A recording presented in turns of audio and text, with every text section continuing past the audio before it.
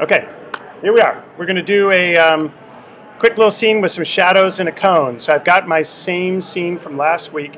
What I did to the cube, though, if you'll notice here, I divided the um, bottom uh, and the top by drawing diagonals to find the center line. So here's a diagonal, here's a diagonal, there's one, and there's one. And that gave me my center line, which is running right up the middle of this thing. And then I fit an oval into the bottom. Whoops, wrong layer. There we go. Uh, just touching all four edges. So there's my oval. And now I've got the center mast of my oval. And basically, when you think about a cone, all I need to do is um, connect from the apex, the very point of it, out to a tangent point on the two lines. So let's just do that and actually, let's make that a little darker and black. Okay, so you're with me so far, right? Okay, so there is a cone, a three-dimensional cone.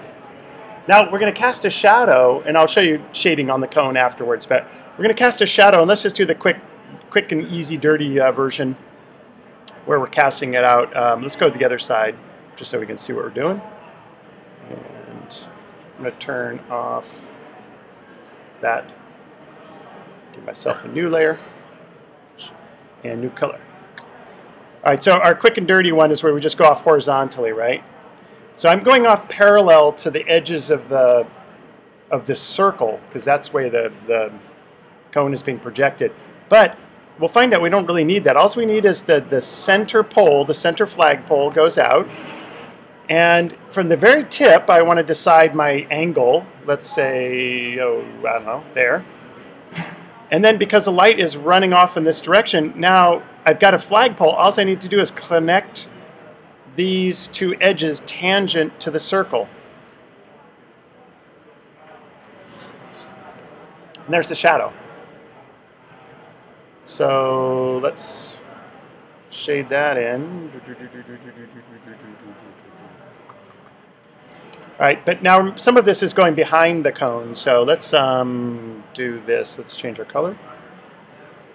I'm just going to redraw the visible parts of the cone. Oops. That's a little wobbly. And since we're doing this freehand,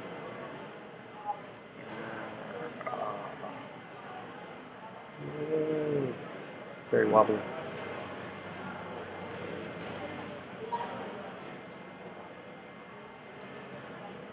All right, so now I can get rid of all this stuff behind here, right? Now, you, like I said, actually didn't really even need these lines. So there's my cone and its shadow. So if that's the, you know, if the light source is now coming from this direction, um, and we see this kind of tangent point about right there, we know that this back half of the cone is going to be more in shadow. So there's the kind of transition point between shade and light. And uh, let's see if I can just do this.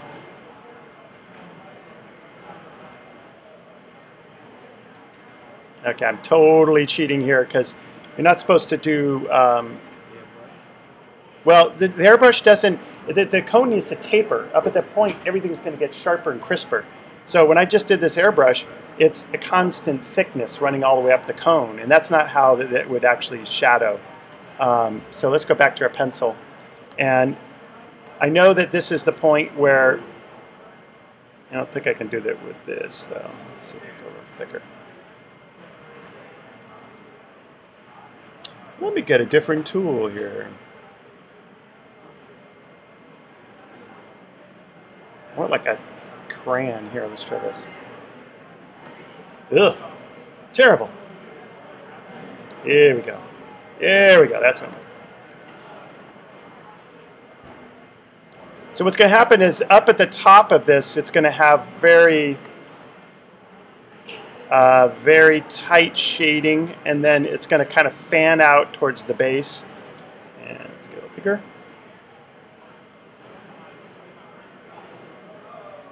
And we're still going to have that kind of reflected light coming from the backside and be more, our core is going to be kind of in this center portion. A little bit of reflected light coming off the table. Now this is not great, but I'll give a little bit of a turning edge there too. So there's a cone and a shadow. Let's go back to our scene. And try a different shadow. All right, so now let's do, um, I'm going to do a shadow, what time? Uh, sunlight shadow going, uh, let's say the sun is behind me, okay? So, and I want to try to get this to cast a shadow onto the cylinder a little bit. So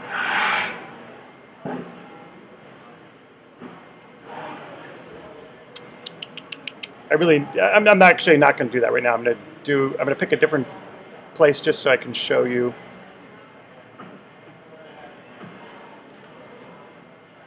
Okay, so I'm just picking a direction right now, an arbitrary direction. This is going off, this is the direction that my shadow is going off. Somewhere, this is my um, shadow vanishing point right here on the horizon. And now I need to bring the, um, angle down. And so again, I'm going to choose, I'm going to go from the tip here and say I want my shadow to be about that long. So that's the flagpole, but I need to continue this down to a point directly below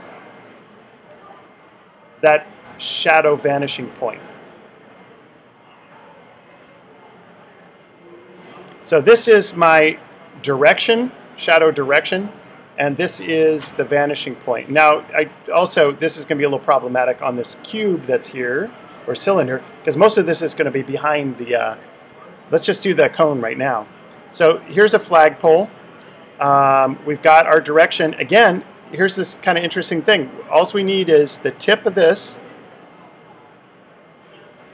to a tangent edge, and then over to this tangent edge, and there's the shadow of that cone. And the part that's behind the um, so there it is going off in the distance. And let me see if I can even do, if you'll see any of this.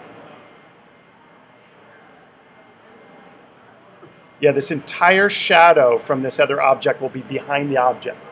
So it's not even worth drawing it. So let's let's do another um, just turn that off. Let's do it again.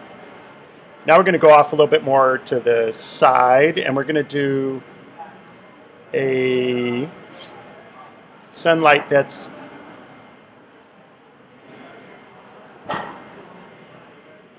I'm just picking a point here. Let's try this. So now the sun is in the picture, and um, I'm going to increase my canvas size because I want to want to draw this in here.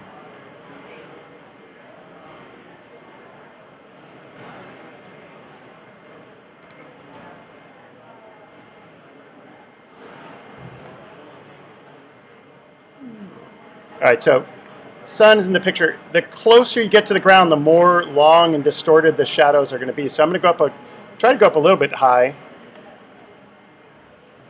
Let's go all the way up here.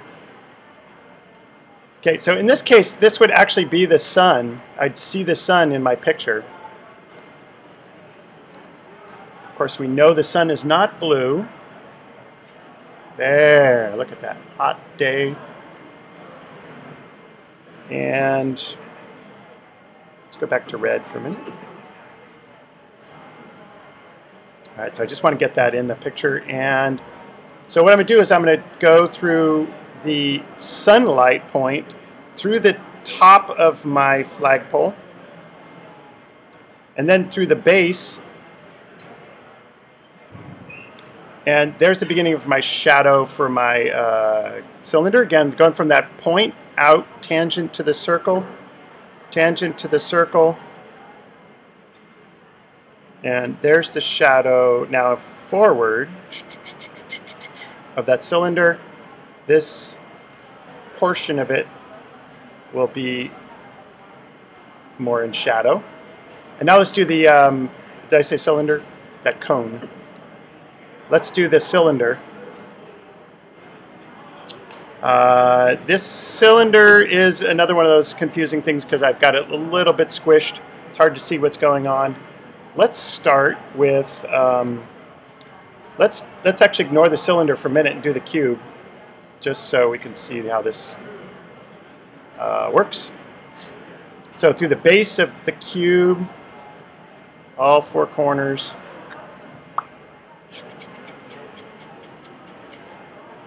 and that back corner.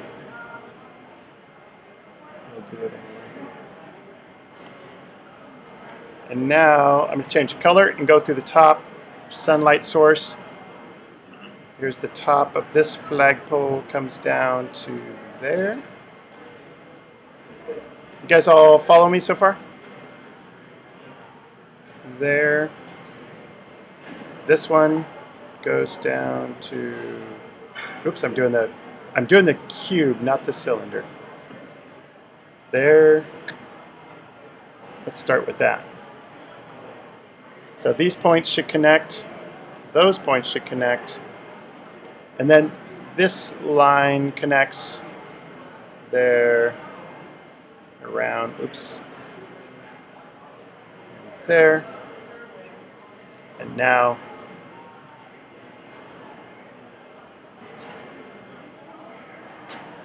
Oops. And around there.